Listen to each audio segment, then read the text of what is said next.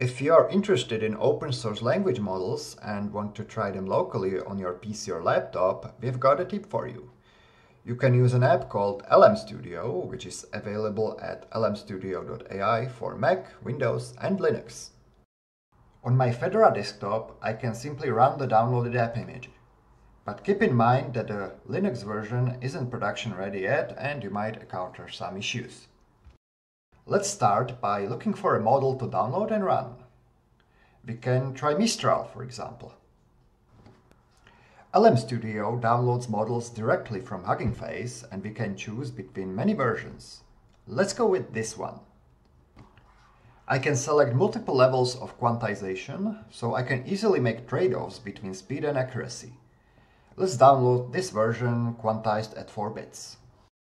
After downloading the model, we can go to the chat section, load the model and start chatting. There is a lot of things we can change here, but one of the most interesting ones is GPU offloading. If you have a supported GPU, you can tell LM Studio to offload some of the model layers to generate text faster.